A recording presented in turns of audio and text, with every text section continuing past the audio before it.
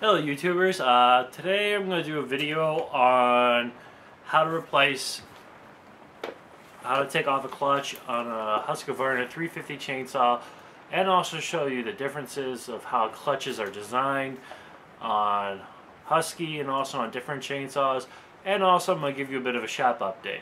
Let's go with the shop update.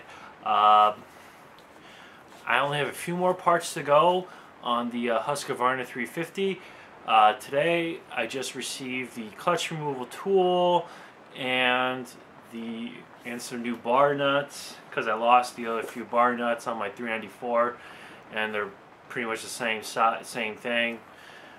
And um, also the muffler on it. Unfortunately I don't have the muffler screws so I had to order those and those should be coming sometime in next week also coming in next week should be a new clutch and also rim sprocket for it, which the rim sprocket's a lot better than a spur sprocket, and also the bar and chain, which then makes that saw complete. Plus, the next project I'm going to be working on is going to be a Husqvarna 288 XP chainsaw. It's a it's a large saw, of course. It has 88 88cc engine displacement it's an older saw and this is going to be a crankcase rebuild straight from the crankcase. I just ordered it today. It's uh, including the crankcase, crankshaft, bearings, flywheel, the, the bearings and uh, crankshaft run fine. Pretty much it's from that point up. It is going to be very, it's going to be costly, plus also it's going to take a lot of time due to the fact of the cost of the parts. I'm going to be making quite a few installments of the video, but let's get back to the main topic of this video. Now, removing the clutch is a, is a great deal, is part of maintenance for a chainsaw. Uh, it's just one way of, you know, getting through getting to different areas of your saw so that you can clean it out make sure everything's okay and also inspect the clutch and see if it's in good shape or not. One way of noticing that your clutch is not working right is if you start up a chainsaw, you disengage the chain brake, you let it sit, and if the chain is still spinning, that's one way to tell that the actual clutch is worn out. Now, in, with some saws, removing the clutch can be easy or it can be difficult.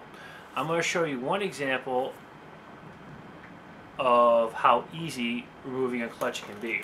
So here, let's take a look.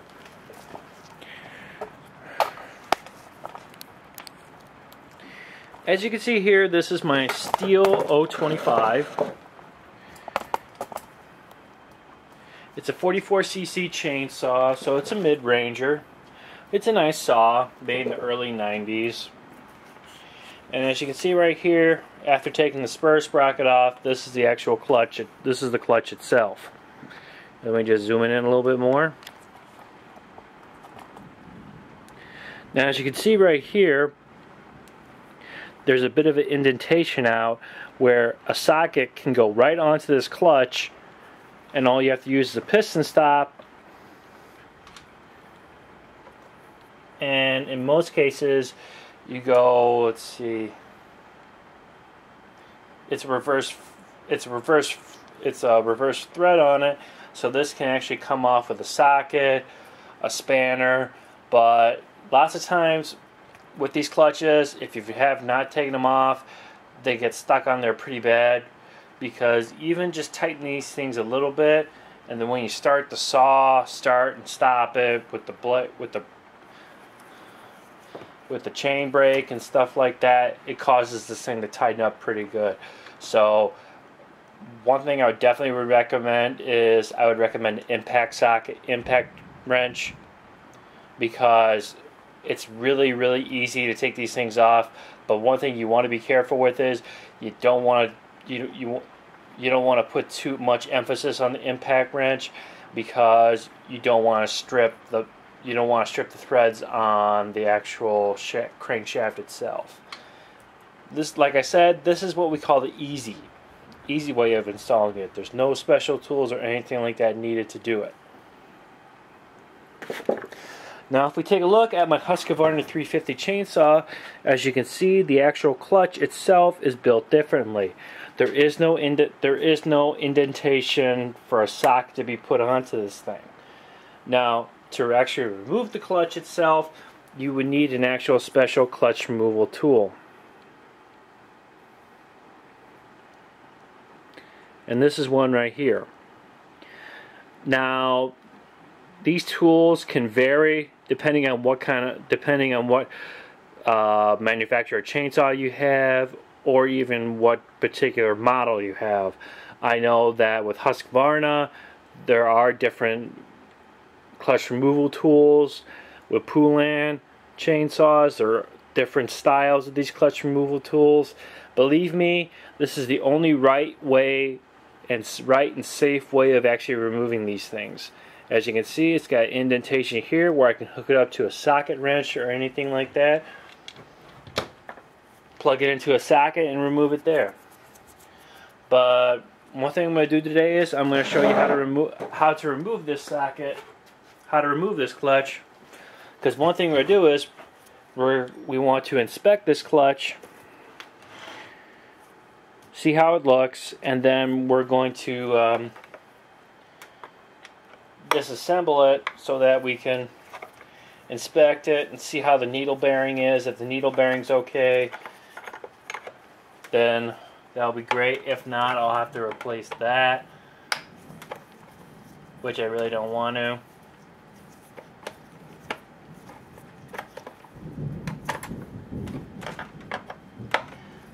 Now, of course, one thing to do is when you remove when you're removing clutch of any of any chainsaw is one thing you have to do is you have to wedge something in the piston in the cylinder so that when the piston goes up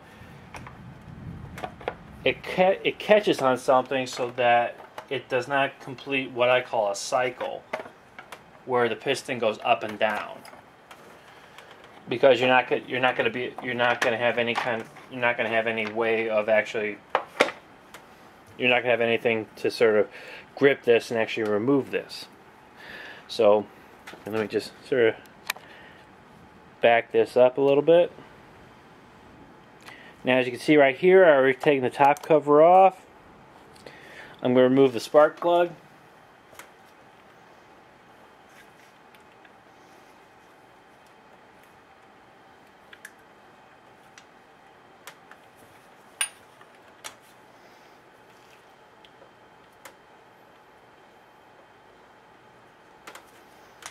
I'm going to use my spanner.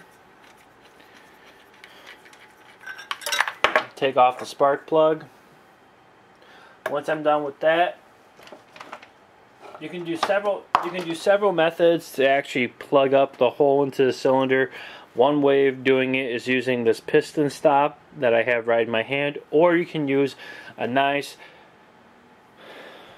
well made nylon rope where you can stick it as much as you can into the cylinder and then eventually it'll plug up it'll plug up the cylinder and you won't have to work and you'll have enough grip to be able to pull this thing off. But personally I like using the piston stop because unfortunately in one of my previous videos I'm working on the 394 Husqvarna I used a piece of I used a piece of nylon rope, which a piece of it was actually lodged into the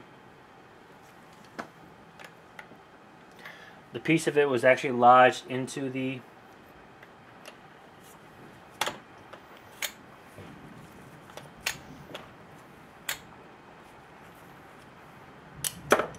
was enlarged into the cylinder wall, which was not very good because it revolved and involved a busted piston. So it's all set up here. As you can see, I do have a bit of re resistance. And all I'm going to do is I'm going to apply pressure. And as you can see, the clutch came off. Sometimes these come off easy, sometimes they come off hard. It just really all depends itself. And now we can take sprocket off.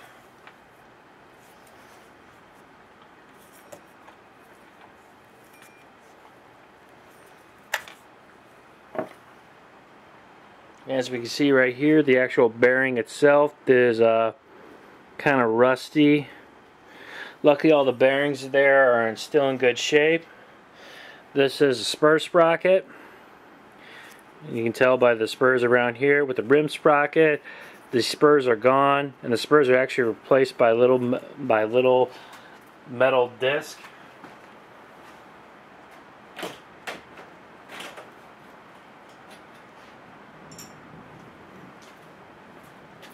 I have one here to show you. This is the actual rim. This is a rim sprocket.